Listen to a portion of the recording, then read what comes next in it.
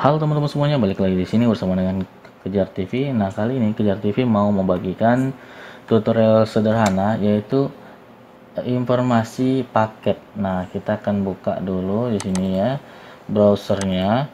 Kita buka cek paket. Keywordnya ini ya.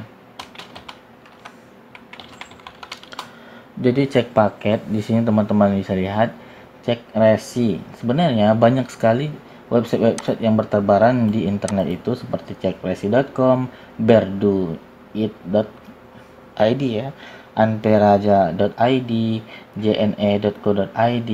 Nah, tentunya kalau nih misalnya teman-teman mau cek resi di JNE kadang itu down ya, kadang down dan teman-teman nggak bisa ngecek apa-apa gitu bisa ngecek di sini di cekresi.com di sini teman-teman bisa langsung masukkan resinya lalu di sini uh, silakan masukkan. Nanti dia bakalan muncul. Misalnya ini ya kita cek resi kemudian di searchingnya ini resi apa? gitu nanti tanya kan. Ini resi JNT misalnya. Ini resi JNT oke kita cek. Nah nanti dia uh, melakukan checking ya. Di checking nanti keluarlah informasinya di sini. Uh, sementara belum dapat kami cek karena ini nomor resinya udah habis.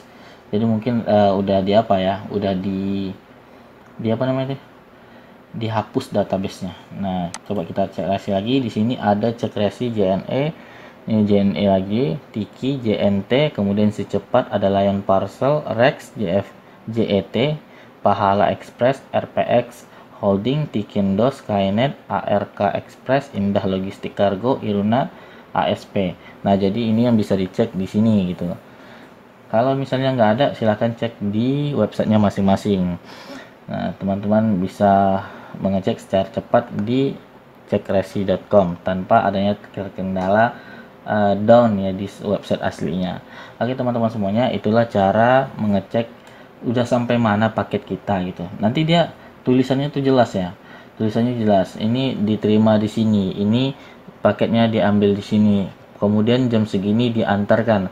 Nah, itu cukup jelas nanti tampil di sini. Karena ini resinya sudah di delete ya mungkin dari database-nya, maka aku nggak bisa menunjukkan secara langsung bagaimana gambarannya. Cuman aku akan menjelaskan gambarnya seperti tadi ya. Informasi detailnya akan ditampilkan di di sini. Oke, teman-teman semuanya sampai jumpa terima kasih. Semoga bermanfaat dan jangan lupa bagikan yang lain jika bermanfaat ya. Bye.